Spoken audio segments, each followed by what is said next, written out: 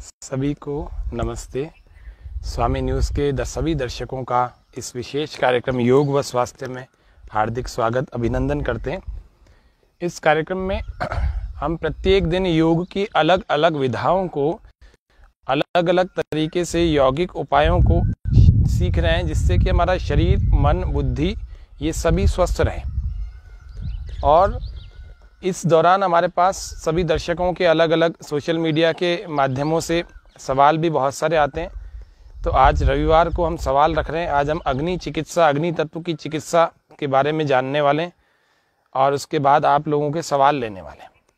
तो आज थोड़ा सा थ्योरिकल जानेंगे थ्योरिटिकल कि अग्नि तत्व की चिकित्सा कैसे होती है।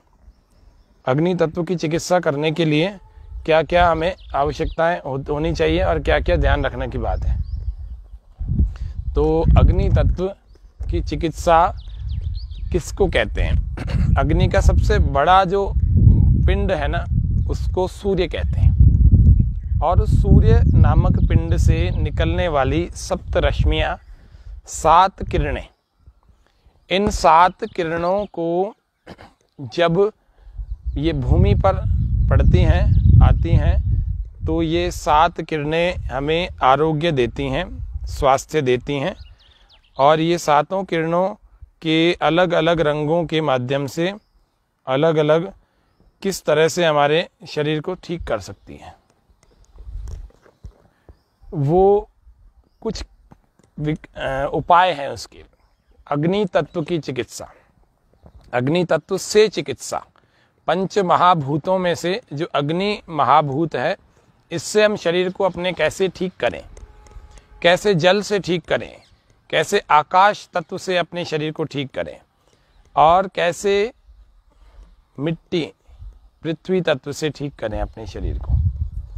ये अलग अलग उपाय हैं, जिसमें से सूर्य चिकित्सा, जिसको हम कहते हैं अग्नि चिकित्सा के रूप में ये डेवलप हुई, वो कैसे हमारे शरीर में उत्तम स्वास्थ्य को लाने के लिए कारगर है, उत्तम स्वास्थ्य हमारा बढ़ जाए अच्छा हो जाए हमारा स्वास्थ्य, हमारे दर्शकों में सभी दर्शकों का स्वागत करते हैं, हार्दिक अभिनंदन करते हैं। गौतम जी, हमारे दर्शक जुड़े हुए जूम थोड़ा सा कर लें। जूम कर दो। तो हमारे कई सारे उपाय होते हैं अग्नि तत्व से चिकित्सा करने के। कब हमें सूर्य की धूप में लेटना है? कब हमें गर्म जल की सिकाई करनी है? कब हमें गर्म जल पी कर के गर्म जल की ही पट्टियाँ बाँध करके गर्म जल में ही बैठे रहना है। कब हमें गर्म जल की पट्टियाँ बाँध करके लेट जाना है? कब हमारे सिर पर गर्म जल की पट्टियाँ रखी जाएँगी? कब हमारे पेट पर रखी जाएँगी? कब उष्ण स्नान किया जाएगा? कब स्टीम बात होगा? कब स्नेहन होगा? कब स्वेदन होगा? ये सब चीज़ें हमें पता होनी चाहिए। यदि हमें पता है तो ही हम अपने इस शरीर को अग्नि तत्व की चिकित्सा दे सकते हैं, अच्छे ढंग से पता होनी चाहिए। और यदि नहीं पता तो हम इस कार्यक्रम में आपको बताएँगे अग्नि तत्व की चिकित्सा से अपने शरीर के भिन्न भिन्न साधारण एवं गंभीर रोगों की चिकित्सा कैसे की जाए। तो आगे आने वाले दिनों में भी हम बहुत सारी चीज़ें जानेंगे। और एक बार थोड़ा जूम कर दें। तो हमारे दर्शकों के जो पिछले पूरे हफ़्ते में जो सवाल आए हैं तो उन सवालों को मैं ले रहा हूँ। आप लोग लाइव भी इस कार्यक्रम में अभी सवाल कर सकते हैं।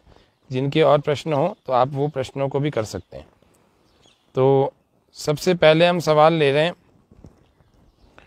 एक बहन जी का था कि उनके साथ ऐसी स्थिति है कि उनको चलना बहुत पड़ता है, उनका जॉब ही ऐसा है। तो उनके पैरों में छाले पड़ जाते हैं। तो पैरों में छाले कैसे ठीक की जाए? तो उसके लिए एक आंकड़ा नाम का पौधा होता है। आंक जिसको कहते हैं। उस आंक नाम के आंकड़े के पौधे को उसमें फूल होते हैं कटोरी नुमा उस फूलों के अंदर से, उसके अलावा उस डंडी के अंदर से दूध निकलता है। उस दूध निकलने के लिए उसको थोड़ा सा दबाना पड़ता है, तोड़ना पड़ता है। तो जैसे ही उसको तोड़ा तो आपका उसमें आंकड़े का दूध दिखाई देगा आपको। फिर उस दूध की दस बूंदें आप ले आए और उसके अंदर दस बूंदें ही नारियल का तेल डालें, शुद्ध नारियल का तेल। तो ये बीस बूंदें लगभग हो जाएँगी। इन बीसों बूंदों को आपको दोनों को मिल्क मिक्स करके अपने पैर की छालों पर यूँ लगाना है। इससे एक दो दिनों में ही आपकी छालों में आराम आ जाएगा। दूसरा सवाल है, खुजली बहुत ज़्यादा होती है, विशेषकर इस सर्दियों में, इस गर्मियों में तो कुछ ज़्यादा ही होगी ईचिंग तो ईचिंग का क्या घरेलू उपाय है? तो घरेलू उपाय ईचिंग का जूम आउट कर। तो ईचिंग का जो घरेलू उपाय है, वो क्या है?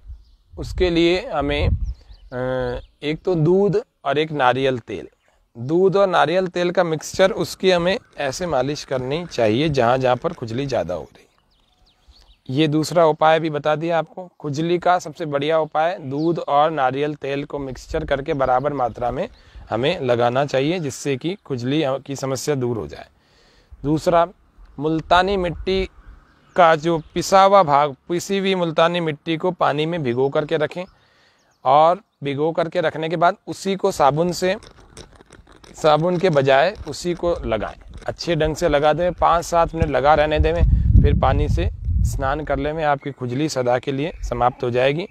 यदि आप बाहर जा सकते हैं, कहीं बालू रेत मिल जाए आपको, बालू रेत, बालू मिट्टी बालू मिट्टी को आप भिगो करके रखें बारह घंटे, और बारह घंटे भिगो करके रखेंगे तो वो मिट्टी तैयार हो जाएगी। सुबह उठ करके आपको कपड़े में, सूती कपड़े में अथवा बोरी के टुकड़े, टाट के टुकड़े में आपको उसको लगाना है, और लगा करके उसकी पट्टी करनी है, जहाँ पर खुजली ज़्यादा हो रही है। पूरे शरीर में हो रही है तो पूरे शरीर का तो मैंने मुल्तानी मिट्टी उपाय बताया। और उसके अलावा बालू से और एक सिल्ट नाम की मिट्टी होती है। वो समुद्री किनारों पर मिलती है, तालाब के किनारे मिलती है। इन दोनों का मिश्रण और थोड़ी सी मिट्टी आपके आसपास की जो भी मिल जाए दो तीन फीट एक दो फीट गड्ढा खोद करके, उसमें से निकाल लें, तीन मिट्टियों का मिक्स कर लें। इन तीन मिट्टियों को मिक्स करने के बाद इनको पहले कूट पीट लें सबसे पत्थर, कंकड़ और कचरा जो भी आपको दिख रहा है, थोड़ा बहुत उसको निकाल लें और उसके बाद कूट लें अच्छी ढंग से। पूरी तरह से ये ऐसे पिट जाए, पूरी बारीक हो जाए और बारीक होने के बाद इसको रात को भिगो लें पानी में भिगो देंगे, चाहे वो मिट्टी के पात्र में भिगोएँ, चाहे वो एल्यूमिनियम के पात्र में भिगोएँ, चाहे आप इसको किसी दूसरी धातु के पात्र में भिगो देवें इतने ज़्यादा पानी नहीं डालना है कि ये बिल्कुल ही ज़्यादा हो जाए। मतलब पानी ज़्यादा हो जाए, मिट्टी कम हो। लेकिन इतना कम भी पानी नहीं डालना कि बिल्कुल सूखी सी हो जाए। बिल्कुल ऐसे मक्खन जैसी, लुगदी जैसी रहे। सुबह आपको इस गीली गीली मिट्टी को निकालना है, किसी से लकड़ी से, किसी की सहायता से निकालना है, हाथ से नहीं निकालना। तो इससे निकाल करके और पट्टी पर पूरी तरह से इसको ऐसे चलाना है, लगाना है। जब ये पूरी लग जाए तो उसके पूरी लगने के बाद हमें इसका लेप करना है, पट्टी का। ऐसे लगा दें थोड़ी देर ठंडी ठंडी सी लगे यदि किसी को तो चादर ओढ़ ले चादर या कंबल ओढ़ ले अगर ठंडी ठंडी लग रही है तो ये गर्म मिट्टी पट्टी हो जाएगी। और यदि नहीं लग रही है, ठंड नहीं लग रही है, क्योंकि ये आधा घंटे से एक घंटा आपको रखनी पड़ेगी। तो जिसके पेट में समस्या है, जिनको कब्ज हो रखी है, अभी कब्ज के भी सवाल बहुत सारे आए हैं तो कब, उसका भी सवाल का समाधान दे देता हूँ कि पेट में अंदर, आंतों में अंदर मल चिपक जाता है, वर्षों से चिपका रहता है। वो आपके कब्जे को ठीक नहीं होने देता। उसके लिए आप ऐसे मिट्टी पट्टी का लेप करें। मिट्टी पट्टी का लेप 10 मिनट से लेकर 30 मिनट तक 30 मिनट से लेकर एक घंटे तक, यानी 60 मिनट तक आप इसका लेप करेंगे। फिर इस मिट्टी को हटा देंगे। इस मिट्टी के लेप के तुरंत बाद जो ये मिट्टी आपकी निकलती, ये मिट्टी का दोबारा प्रयोग नहीं करना। इसको फिर डाल देना मिट्टी में। लेकिन दोबारा प्रयोग करने की नहीं है ये। हमारे बहुत सारे दर्शक इसमें जुड़े हुए हैं। गौतम जी कशिश जी, युवराज जी, समीर जी, बहुत सारे दर्शक सभी का हार्दिक अभिनंदन है, आभार है। इसी तरह से इस कार्यक्रम में आप जुड़े रहें। यदि आप लोगों के कोई सवाल हैं तो उन सवालों को आप उठा सकते हैं। हमारे जो इकट्ठे सवाल हो गए हैं एक हफ़्ते, दस दिन में, उन लोगों में से लोगों के सवालों को ले रहे हैं। गिलो गिलोए का प्रयोग कैसे किया जाए? तो गिलोए का प्रयोग बहुत तरीके से किया जाता है। एक भाई का सवाल है उदयपुर से। वो कहते हैं, गिलोय का प्रयोग हम कैसे करें? गिलोय की अभी महिमा खूब सुन रहे हैं वो। तो गिलोय की डंडी ताजी यदि मिल जाती है आपको तो उस ताजी डंडी को ले आए, अपने पहली उंगली, दाएँ हाथ की पहली उंगली के बराबर की डंडी को तोड़ें और धो लें अच्छे ढंग से धो करके इसको च्विंगम की तरह चबाते रहें, आधे घंटे तक कि चबाते चबाते खत्म हो जाएगी, इसका ताज़ा रस आपके भीतर चला जाएगा। और उसके बाद आपकी इम्यूनिटी अच्छी स्ट्रांग हो जाएगी। और इसको एक दिन नहीं करना है इसको लगातार दो से ढाई महीने करना है, फिर आपको एक महीने का गैप देना है। फिर से दो ढाई महीने करें, फिर एक महीने का गैप दें। ये वर्ष भर किया जा सकता है। गिलोय का ऐसा पहला पहला प्रयोग बताया। दूसरा गिलोय का प्रयोग, इसको कूट करके इसकी कुछ रस निकल जाती है। उस रस को ताज़ा ताज़ा ही आपकी जीप पर लेना है। तो गिलोय का ये दूसरा प्रयोग बता दिया। तीसरा प्रयोग है, इतनी डंडी का पाँच गुना। इतनी डंडी का पाँच गुना जिसका हमने रस निकाला था, इस, इतना ही रस आपको, इतना ही भाग आपको गिलोय की डंडी का। गिलोय के पत्तों की बात नहीं चल रही है, गिलोय की डंडी। चाहे वो नीम पर चढ़ी हुई हो अथवा बिना नीम पर चढ़ी हुई हो। इस गिलोय की डंडी को लेकर के फिर इसको थोड़ा सा कूटना है और इसमें आधा गिलास पानी डालना है और इसको गर्म करना है, जब तक वो पानी का भी आधा ना रह जाए। अगर आपने ज़्यादा गिलोय बना रखी है, ज़्यादा ले रखे हैं, ज़्यादा टुकड़ा है तो फिर आपको एक गिलास पानी लेना है। एक गिलास पानी जब तक, तब तक गर्म करते रहें करते रहें करते रहें, जब तक ये आधा गिलास ना रह जाए। तब तक आपको इस गिलोय को पकाते रहना है। आप लोग जब तक भस्त्री का प्राणायाम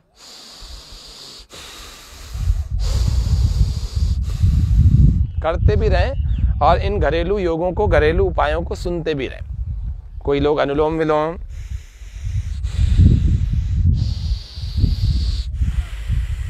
कपाल भाती। किन्हीं को, सबको अलग अलग रोगों के हिसाब से अलग अलग प्राणायाम हम बताते रहते हैं। अपने अनुकूल प्राणायाम करते रहें। कुछ लोग सूक्ष्म व्यायाम करते रहें।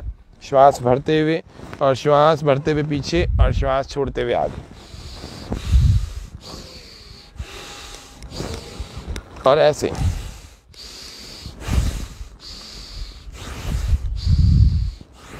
ऐसे चलते रहे, गर्दन के सूक्ष्म व्यायाम। श्वास भर के गर्दन पीछे, श्वास छोड़ते हुए गर्दन आगे। थोड़ा शरीर में गति भी पैदा करे कुछ तो कर ले में सूक्ष्म व्यायाम, प्राणायाम, और फिर प्राणायाम में आ जाए। और धीरे धीरे करें तो ज़्यादा अच्छे रंग से हो जाएगा, ऐसे।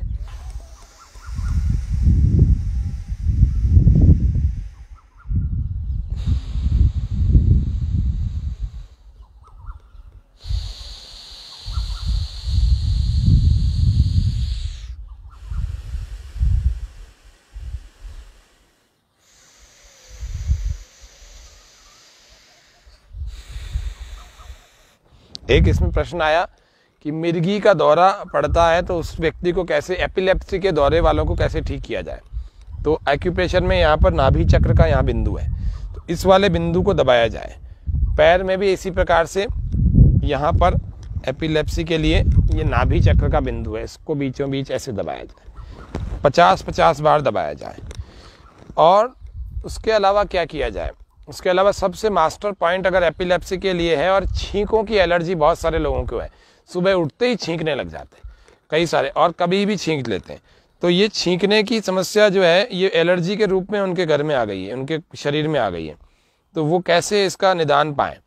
उसके निदान के लिए आपको यहाँ बीचों बीच बिंदु, यहाँ पर ऊपर वाला भी नहीं, नीचे वाला भी नहीं, यहाँ भी तीन बिंदु हैं। इन तीनों के इधर बिल्कुल बीच में। आपको हम जूम करके भी दिखा रहे हैं। कि कहाँ पर है ये? तो इस बिंदु को आप 20 से 50 बार दबाएँ।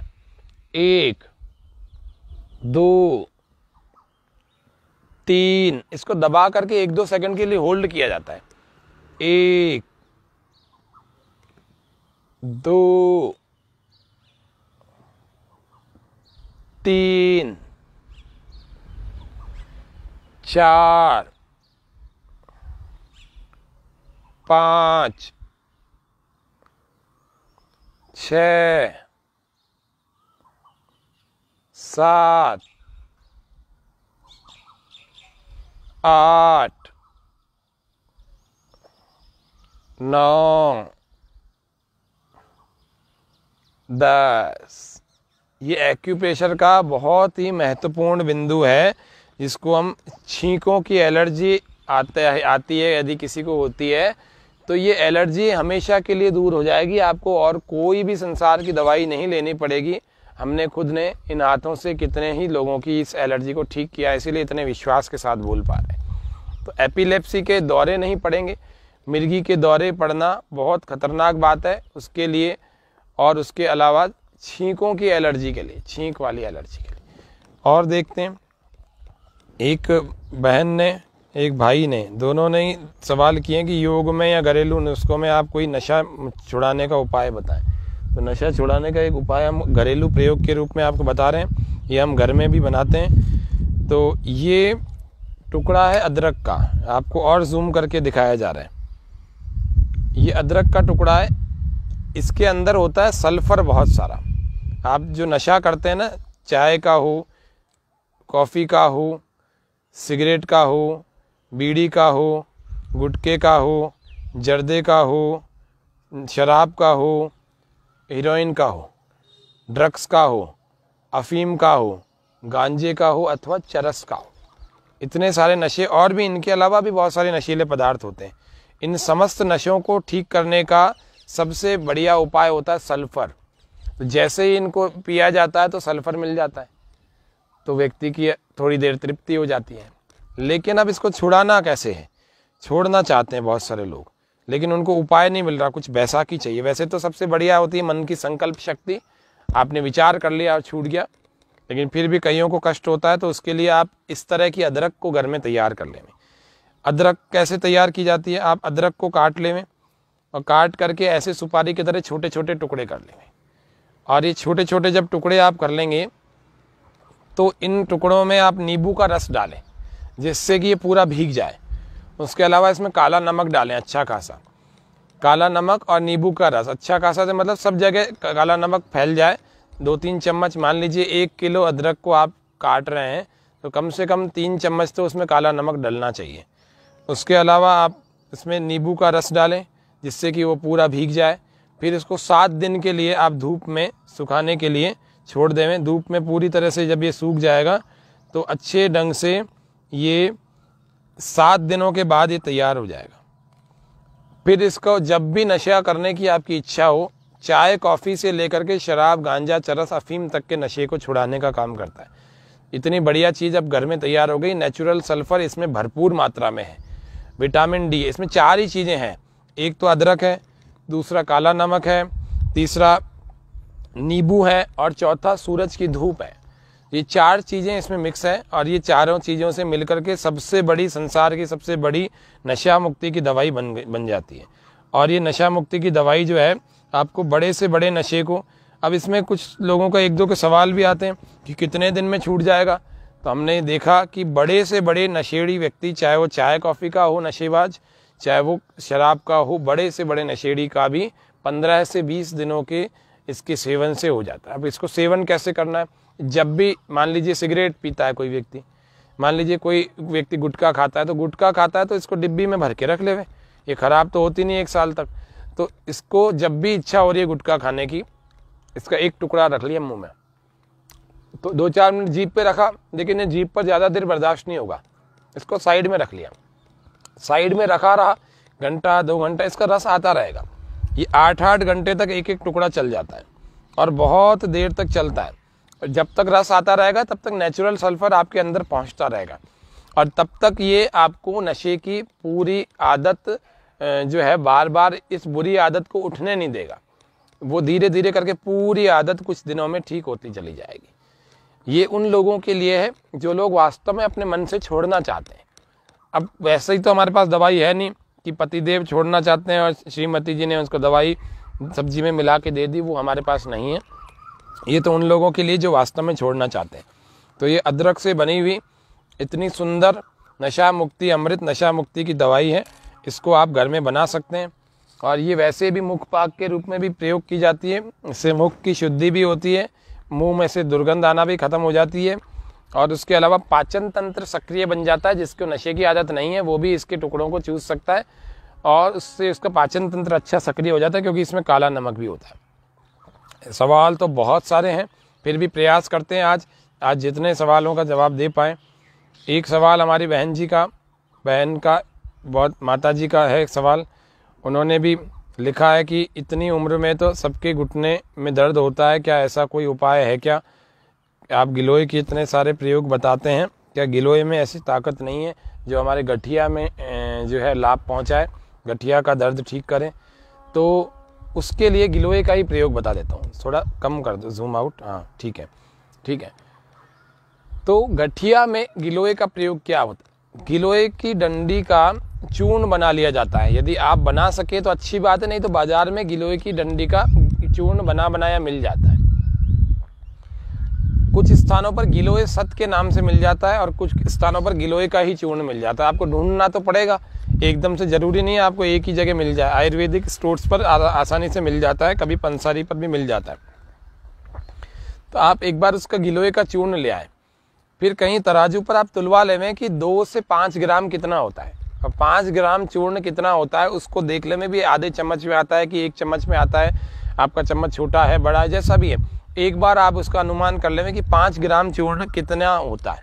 उस पाँच ग्राम चूर्ण को आपको प्रतिदिन आपको सुबह सुबह खाली पेट इसको लेना है और पानी पी जाना है। इसकी फं, इसकी फंकी लेनी है फांकी मारनी है। पाँच ग्राम चूर्ण आपको लेना है और पानी पीना गुनगुना। उसके साथ ये गठिया में बहुत लाभ पैदा करेगा आपको। गठिया के जो दर्द होते हैं ऐसे गाउट जोड़ ही मुड़ जाते हैं पूरे।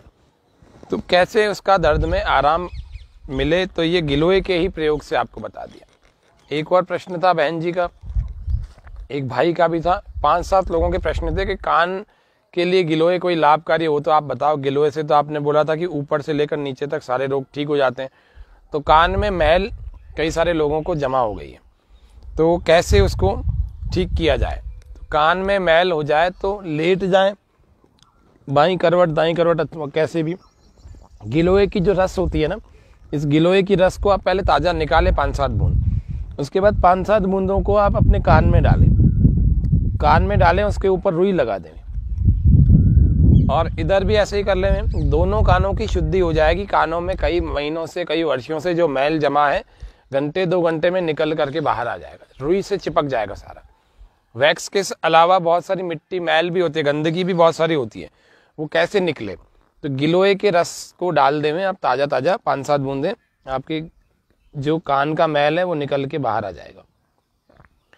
बहुत सारे दर्शक हमारे अभी भी जुड़े हुए हैं और लगातार इस कार्यक्रम को देख रहे हैं और प्राणायाम भी साथ साथ में करें। एक माता जी का फ़ोन आया कि हमारे बच्चे जो है, मिट्टी खाते हैं, उनकी आदत कैसे छुड़ाई जाए? तो मिट्टी खाने की आदत छुड़ाए, छुड़ाने के लिए पाँच लौंग लेकर के एक गिलास, आधे गिलास में आप पकाएँ उसको, उसका काढ़ा बन जाएगा अच्छे ढंग से, केवल पाँच लौंग। तो पाँच लौंग का काढ़ा बनाएँ, ज़्यादा देर नहीं, आधा होने से पहले ही आप उसको रोक देवें और उस पानी को बालक को पिलाएँ सुबह सुबह उससे उसकी मिट्टी खाने की आदत दूर हो जाएगी, जिससे कि उसके पेट में कीड़े नहीं बनेंगे।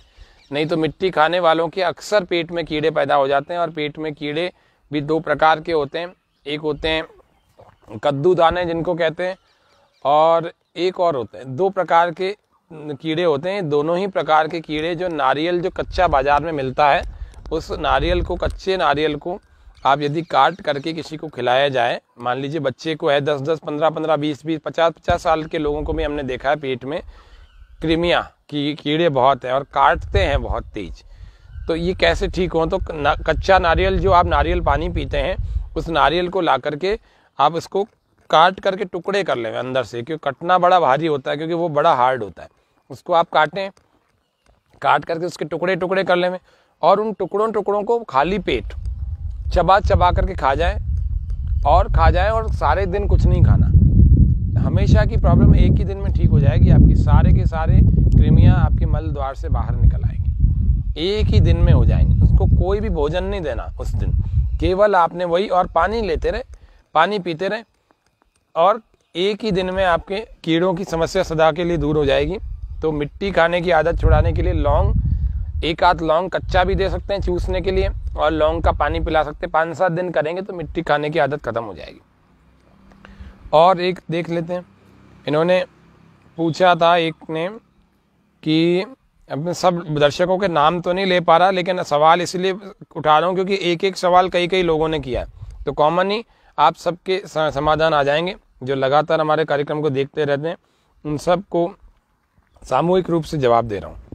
और जो नए दर्शक भी हैं, उनके लिए भी बहुत अच्छी चीज़ है, गठिया में और प्रयोग कुछ। तो इस गीलों के अलावा क्या आप बता सकते हैं? सबसे बढ़िया उपाय जो हमें कई सारे लोगों पर करके देखा है कि अमरूद का जो पेड़ होता है, उस अमरूद के पेड़ के जो पत्ते होते हैं तो दो प्रकार के पत्ते होते हैं।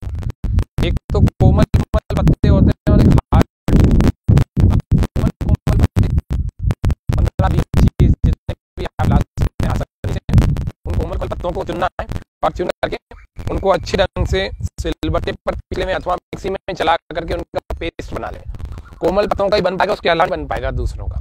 पानी डाल करके आप उसका पेस्ट बना सकते हैं। और जब वो पेस्ट बन जाए तो आपके यदि जोड़ों में दर्द है, घुटने में दर्द है तो घुटने पर स्लेप को यूँ लगाएँ। पूरे अच्छे ढंग से घुटने पर लेप लगाएँ, और फिर कपड़ा उठा करके पट्टी की तरह उसको बाँध दें। रात को सो जाए ऐसे ही दूसरे में भी। ये दोनों में आपको लगा दिया। मान लीजिए आपको कहीं जोड़ों में कहीं और दर्द है, उन जोड़ों पर भी लगा दिया। तो इससे अमरूद के पत्तों बांधने से जोड़ों के दर्द में विशेष लाभ होता है। हमने कई सारे लोगों पर इन वर्षों में करके देखा है। तो ये प्रयोग अनुभूति है कितने सारे लोगों ने हमें बताया कि एक लाख में फ़ायदा हो गया। फिर हमने दो महीने इस बात को, इस काम को करने की सलाह दी। दो महीने करने से पचास से सत्तर प्रतिशत दर्द तो वैसे ही ठीक है। फिर खटाई उनकी बंद करा दी। तो खटाई बंद करने से सारे दर्द वैसे ही खत्म हो जाते हैं। वात का प्रकोप नहीं बढ़ता, वात का प्रकोप नहीं बढ़ता तो वैसे भी दर्द नया जो बढ़ रहा है, वो नहीं होगा। तो ये हमारा जोड़ों में दर्द का एक उपाय था। फिर और एक दो सवाल और, पाँच सात सवाल और ले लेते हैं कि कब्ज का एक और उपाय कि कुछ बताएँ। कब्ज के लिए बहुत सारे उपाय कर करके थक गए तो रात्रि में गर्म दूध में ले लेवें। एक चम्मच बादाम का तेल, जिसको बादाम रोगन कहते हैं। तेज गरम दूध होना चाहिए, जैसे आप चाय तेज गरम पीते हैं, वैसी। पहला तो चाय छोड़ देवें। कब्ज को और एसिडिटी को, गैस गैस्ट्राइटिस को, इन सभी चीज़ों को पैदा करता है चाय। तो कोशिश करें पेट की समस्याओं से यदि आप बचना चाहते हैं तो चाय, कॉफ़ी तो सबसे पहले छोड़नी पड़ेगी। और यदि इसको छोड़ दिया फिर आपको कब्ज को ठीक करने के लिए कुछ और करना नहीं पड़ेगा। सुबह उठ करके पानी पिए और थोड़ा टहलें। फिर भी किसी की ज़्यादा समस्या आ रही है तो रात को सोने से पहले जब आप आधा घंटा पहले, सोने से आधा घंटा पहले आप गर्म दूध जो कि गाय का होना चाहिए, उसमें आप आधा गिलास ले सकते हैं, एक गिलास जितना भी आप लेना चाहें, उसमें एक चम्मच बादाम रोगन डाल करके उसको घोलने में उसको पी जाएँ। इससे आपका नेचुरल अच्छे नेचुरली कब्ज आपका ठीक हो जाएगा। जिनका सामान्य कब्ज है, बहुत सीवियर है, उसके लिए अलग चीज़ें हैं, बहुत हल्का है उसके लिए भी। लेकिन ये कब्ज के लिए बहुत रामबाण है। पेट में ल्यूब्रिकेशन नातों में पहुँचता है। उसके अलावा भी पुष्टि मिलती है बादाम रोगन से। पौष्टिकता बढ़ती है। और रेचक भी है ये। आपके पेट को साफ़ करने का काम करता है।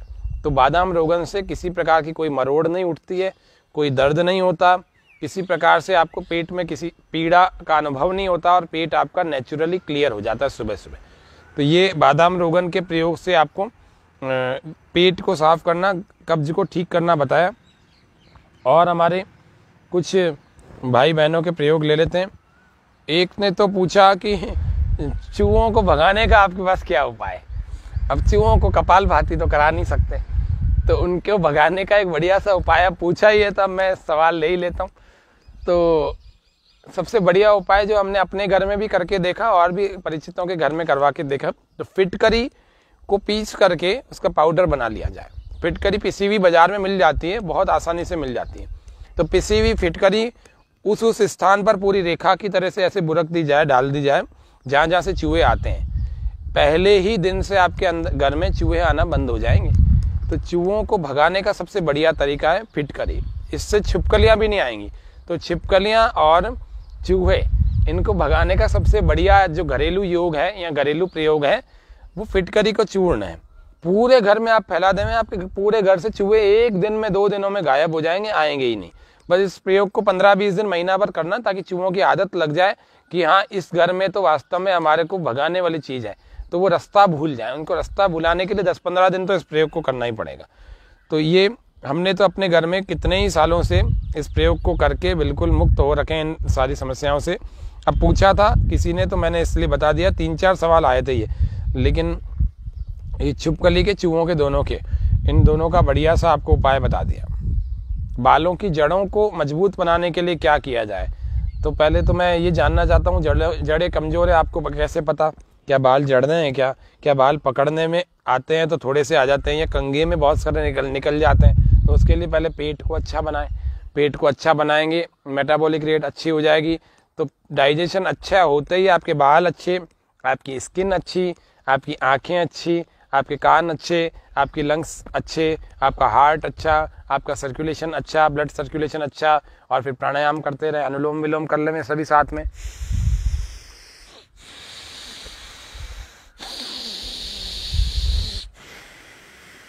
प्राणायाम योग का बहुत महत्व है हमारे जीवन में। इसको तो करना ही करना है सभी को। सभी का, दर्शकों का बहुत बहुत कान बहने का क्या उपाय है? हमारे एक दर्शक ने प्रश्न किया कि कान बहता बहुत है। तो कान बहने का सबसे बढ़िया उपाय हमने जो करवा के देखा लोगों पर, वो है शून्य मुद्रा का अभ्यास। तो शून्य मुद्रा आप दिखा रहे हैं जूम करके, बीच वाली उंगली को ऐसे अंगूठे की जड़ में लगा दिया जाए। ऐसे दबा दिया जाए। इसको शून्य मुद्रा कहते हैं। आधे से एक घंटा रोज लगानी पड़ेगी इसको। यदि आधे से एक घंटा नहीं लगाएँगे तो इससे कोई लाभ नहीं होगा। ये आपको शून्य मुद्रा, ये कान के बहना, कान में दर्द, कान में फंगल इन्फेक्शन अथवा कान में और भी किसी प्रकार की समस्या है जिसको कम सुनाई देना, बहरापन भी है, वो भी इस शून्य मुद्रा के नियमित अभ्यास से कुछ समय, लंबा समय करना पड़ेगा, दो चार पाँच महीने तक, लेकिन ये कान का बहना परमानेंट क्योर कर देगा, परमानेंट, कान का बहना। तो ये कान के बहने में बहुत बढ़िया एक उपाय बता दिया। एक आयुर्वेद में बहुत सुंदर सा एक तेल आता है जिसको हम कहते हैं क्षार तेल। तो क्षार तेल आपको बाज़ार से ला करके ज़्यादा समस्या यदि हो रही है तो क्षार तेल ला करके उसकी दो दो बूंदे दिन में दो से तीन बार अपने कान में टपका देनी चाहिए, जिससे कि कान का बहना बंद बंद हो जाता है। ये दो उपाय आपको बता दिए। उसके अलावा एक कर्ण रोगान तक प्राणायाम होता है। ऐसे नाक को बंद करके, मुँह के अंदर श्वास पूरी भर के ज़ोर लगाते हैं, ताकि कान की तरफ़ इसका प्रेशर एयर का बने।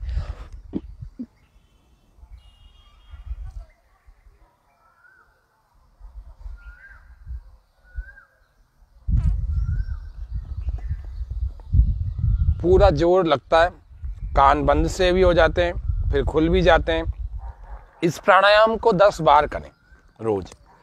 कर्ण रोगान तक। फिर से एक बार बता रहा हूँ, नाक बंद कर लिया, मुँह में अंदर से हवा भरी, गालों को फुलाया और पूरा ज़ोर लगाया जिससे कि कानों की तरफ़ एयर का प्रेशर बने, ऐसे।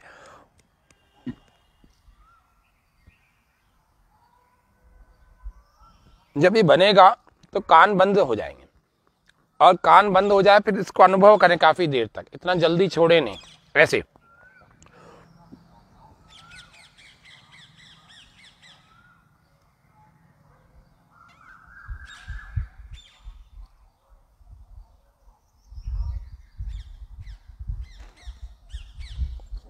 कान की विभिन्न समस्याओं को ठीक करने का सबसे बढ़िया उपाय है कर्ण रोगांतक प्राणायाम।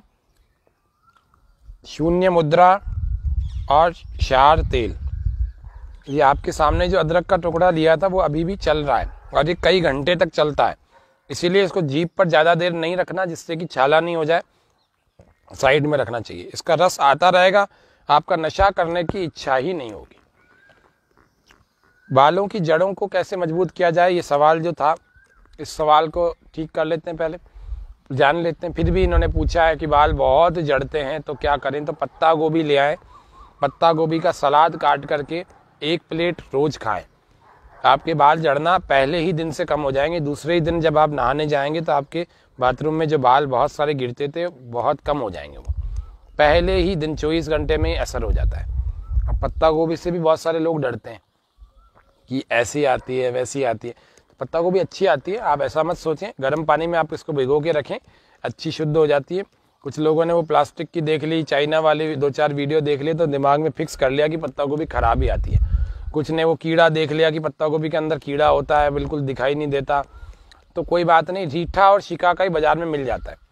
रीठा शिकाकाई को बाज़ार से ले आए पिसावा लाएँ तो बहुत अच्छी बात है। तो रीठा शिकाकाई को जब भी आप नहा रहे हैं, इससे पहले एक चम्मच रीठा का, एक चम्मच शिकाकाई का दोनों का पिसा हुआ फॉर्म एक गिलास पानी में डाल दें। इसको अच्छे ढंग से बॉयल करें। दो गिलास पानी ले लेंगे और अच्छे ढंग से हो जाएगा। तो दो चम्मच हो गए और दो गिलास पानी हो गया। इसको आप अच्छे ढंग से गर्म करें। काढ़ा बनाते हैं जैसे काढ़ा बनाए। और जब ये काढ़ा बन करके तैयार हो जाए, यानी कि ये एक गिलास रह जाए, एक या सवा गिलास रह जाए तब आप इसको ठंडा होने दें। ठंडा हो जाए पूरा, उसके बाद आप अपने सिर में लगाएँ, पूरे अच्छे ढंग से, जैसे शैम्पू लगाया जाता है ऐसे सब जड़ों में अंदर इसको पिला दें। और फिर इसको 15-20 मिनट रहने देवें थोड़ा सा पानी बचा के रखें 15-20 मिनट रहने देवें 15-20 मिनट तक ये जड़ों में उतर जाएगा। फिर उसके बाद जब आप नहाने जा रहे हैं तो फिर इस पानी को थोड़ा सा एक बार और लगाएँ और फिर आप सिर धो लें। इससे आपकी बालों की जड़ें मज़बूत हो जाएँगी तो आपके बाल नए भी उगरेंगे, दो मुँह बाल की समस्या भी खत्म हो जाएगी, बालों की मजबूती भी होगी और बाल काले और घने भी होंगे। बाल काले घने नहीं है लोगों की, जवानी में भी बहुत सारे लोगों के सफ़ेद हो जाते हैं तो बड़ा तनाव का कारण हो जाता है। तो इसीलिए बालों का काला, घना और जड़ों से मज़बूत होना, ये कैसे घरेलू प्रयोगों से संभव है हम ये जान रहे हैं। कान बहने का उपाय हमने बता दिया युवराज जी को। और समीर जी, गुड मॉर्निंग कहते हैं। तो गुड मॉर्निंग सुप्रभात जी, नमस्ते। चित्रा जी, ओम जी, नमस्ते। ऋतु जी, राकेश जी, आपका भी धन्यवाद, आभार है। धन्यवाद, ओम नमस्ते। हमारे और भी दर्शकों के, कईयों के सवाल जो आए हुए हैं एक हफ़्ते से, उनका ले लेते हैं। ये कहते हैं कि हम पहाड़ी इलाके में रहते हैं, ये कहीं बीकानेर की तरफ़ के हैं, एक सीकर की तरफ़ से, दो लोगों के आए कि पहाड़ी इलाके में रहते हैं और हमारे यहाँ बिच्छू और सांप कुछ ज़्यादा निकलते हैं। तो आपके पास कुछ आपातकालीन योग, आसन, प्राणायाम अथवा घरेलू प्रयोग हो तो आप हमें बताएँ कि किस तरह से इस जहर से बचा जा सकता है। तो आपको बता दूँ कि जहर से बचने के लिए जहर का ही प्रयोग किया जाता है और वो जहर हमारे रसोई में होता है। वो क्या होता है? हमारे को जब सांप ने काट लिया हो अथवा बिच्छू ने काट लिया हो, तुरंत उसका जहर उतारना है क्योंकि पहाड़ी इलाके वालों को अस्पताल पहुँचने में समय लग जाता है।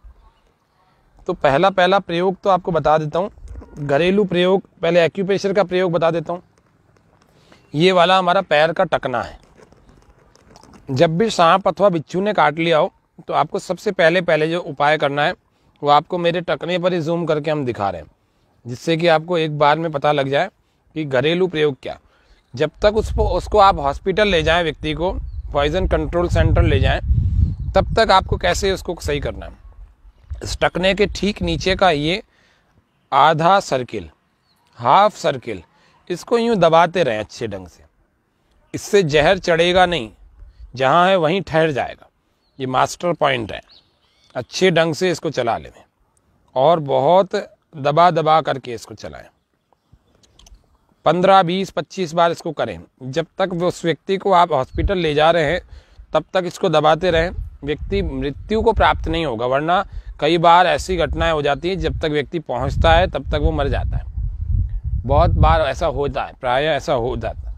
तो इसीलिए ये वाला पॉइंट मास्टर पॉइंट है। ऐसे ही आपको पैर के दूसरे तरफ़ जो टकना है, इसके भी नीचे ऐसे ही आपको ये आधा सर्किल ये जहर को नहीं चढ़ने देगा और जहर से व्यक्ति को मरने नहीं देगा। और चाहे तो आप पूरा सर्किल भी चला सकते हैं, लेकिन पूरा दबेगा ही नहीं, आपसे आधा ही दबेगा। तो ये आधा पूरा, जहाँ जहाँ गड्ढा है, जहाँ जहाँ ये अंगूठा चल जाता है, अच्छे ढंग से इसको चला ले। बहुत अच्छे ढंग से इसको ऐसे चला ये हमारा सांप को काटेगा, ऐसे दूसरे पैर में भी और दूसरे पैर के दोनों टकनों की तरफ़, टकनों के दोनों तरफ़। ये दोनों पैरों में करना है और हाथ में भी करना है। हाथ में जो पॉइंट है ना, वो है ये वाला। ये है मास्टर पॉइंट इस हड्डी के खत्म होते होते होते होते यहाँ पर, यहाँ दबाया जाता है।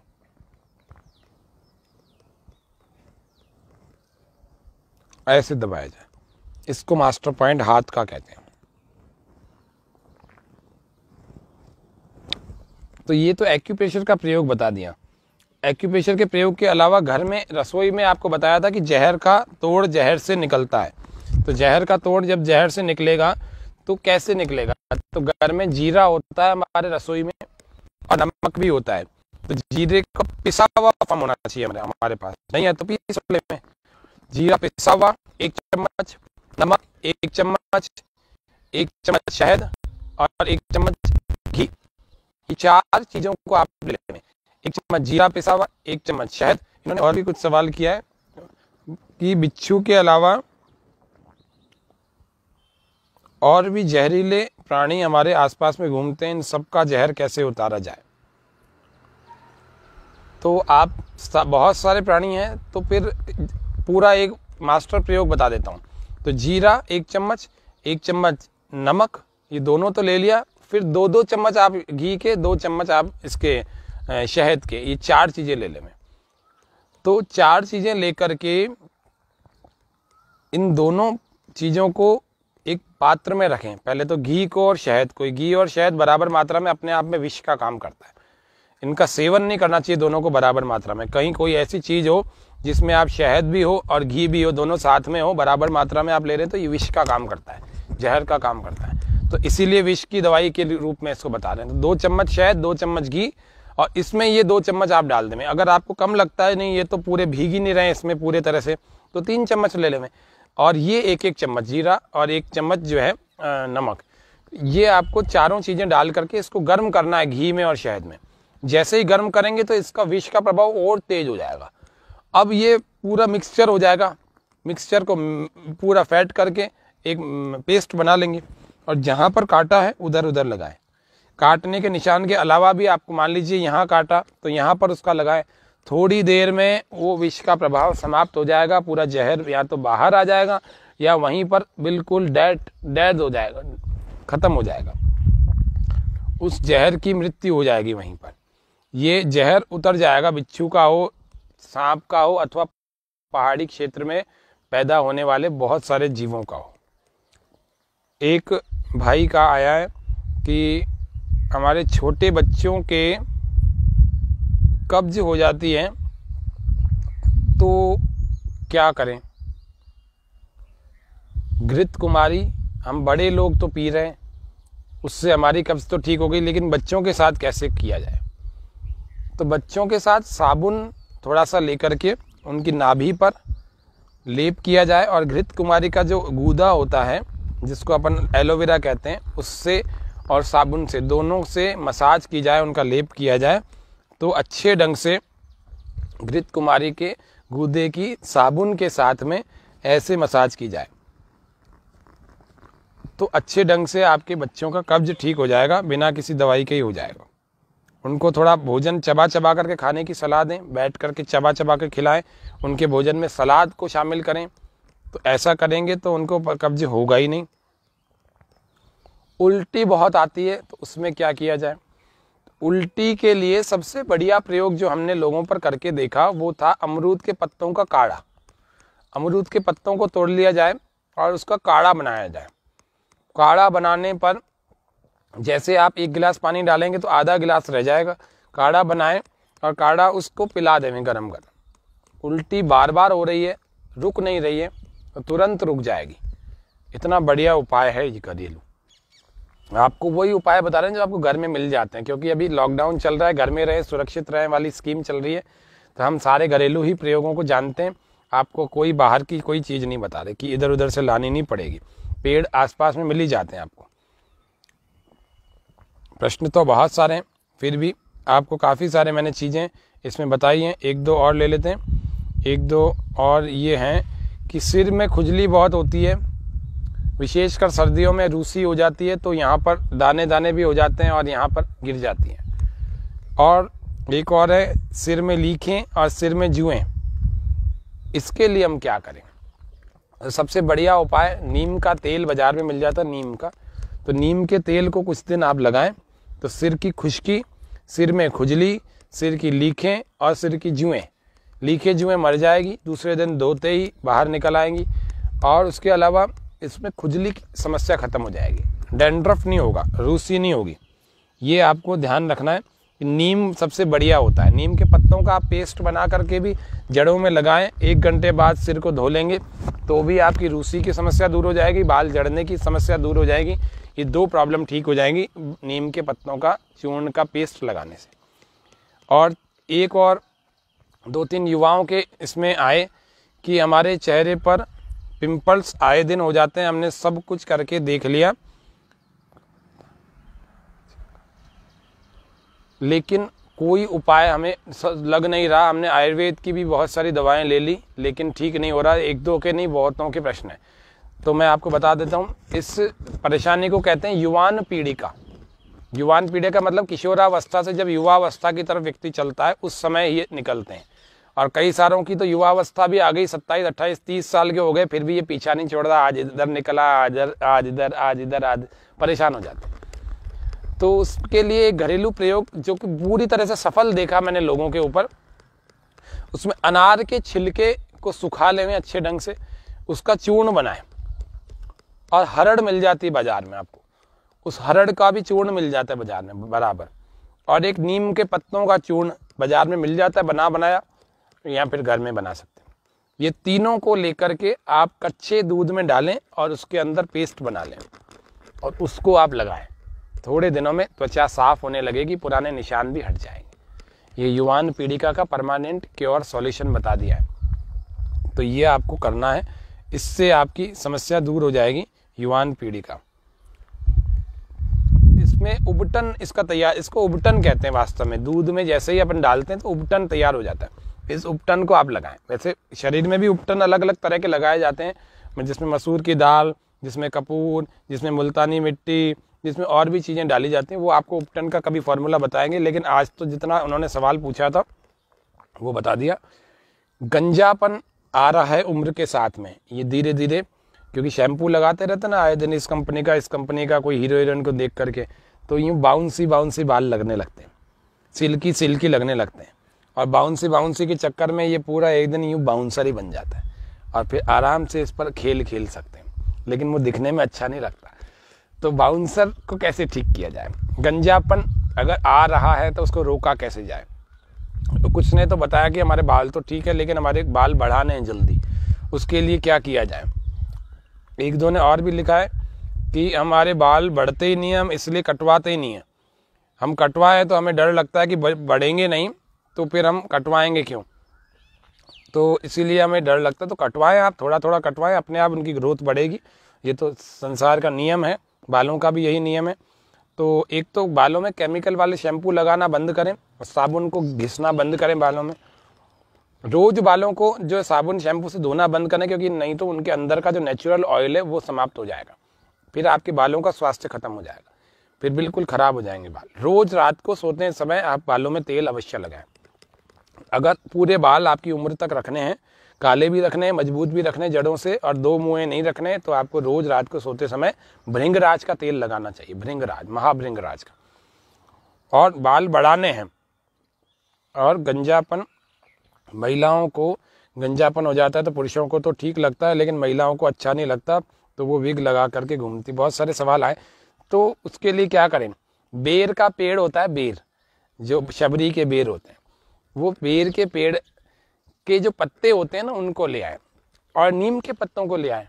बेर के और नीम के दोनों के पत्तों को बराबर बराबर मात्रा में उनका कूट पीस करके, उनका पाउडर बना लें और उस पाउडर का मिक्सचर करके आप पानी के साथ पेस्ट बना लें और फिर उसको आप अपने सिर के अंदर जड़ों तक लगाएँ। और जड़ों तक लगाएँगे तो केश वृद्धि भी होगी और गंजापन नहीं आएगा, क्योंकि जड़ें मज़बूत हो जाएँगी। और दो घंटे तक लगा रहने दें।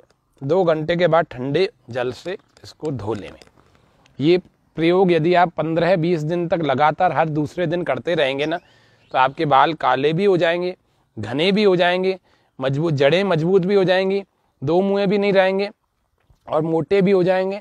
उसके अलावा बाल जल्दी बढ़ेंगे भी और गंजापन भी नहीं होगा। ये जो बाल जा रहे हैं ना, ये बाउंसर नहीं बनेगा। तो ये इतने सारे प्रयोग आज हमने बताए। आज समय की सीमा है। तो ये समय की सीमा को ध्यान में रखते हुए आज के कार्यक्रम को हम इतना ही रखते हैं।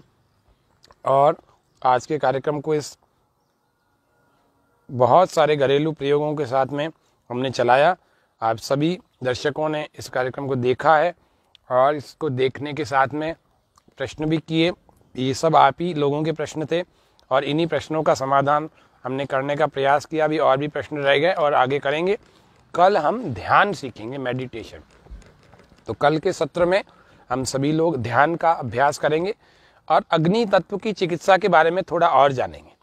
दो चार पाँच दिन जानते रहेंगे, फिर उसके बाद ये सूर्य भगवान की जो धूप आ रही है, इसमें अग्नि चिकित्सा करेंगे भी थोड़ी। फिर इसमें कैसे कैसे जल तैयार किए जाते हैं, नीला, पीला, नारंगी, हरा और अलग अलग प्रकार के जो जल तैयार किए जाते हैं, वो तैयार करने की तकनीक आपको बताएँगे। कि सूर्य की धूप में ही तैयार किया हुआ जल हमारे जोड़ों के दर्द को कैसे ठीक कर सकता है। इसमें तैयार किया हुआ तेल हमारे पेट को, हमारे जोड़ों के दर्द को कैसे ठीक कर सकता है। इसमें तैयार किया हुआ तेल हमारे सिर के दर्द को, हमारे इसी में तैयार किया हुआ पानी हमारे सिर के दर्द को कैसे ठीक करता है, हमारे पेट की समस्याओं को कैसे ठीक करता है अलग अलग रंगों का पानी। तो अग्नि तत्व की चिकित्सा यानी कि सूर्य चिकित्सा इसको कहते हैं तो सूर्य से ही अग्नि निकलती है और इसी अग्नि का प्रयोग हम कैसे कर सकते हैं अलग अलग किरणों अलग अलग रंगों के माध्यम से, वो अलग अलग जलों के माध्यम से अलग अलग स्नानों के माध्यम से अलग अलग सूर्य चिकित्सा के जो सूर्य स्नान है, उनके माध्यम से कई प्रकार, सौ प्रकार से भी ज़्यादा चीज़ें सौ चीज़ों से भी ज़्यादा है ये अग्नि चिकित्सा में। तो हम जानेंगे बहुत आज के कार्यक्रम को। हम यहीं पर विराम देते हैं। मंत्र पाठ के साथ में।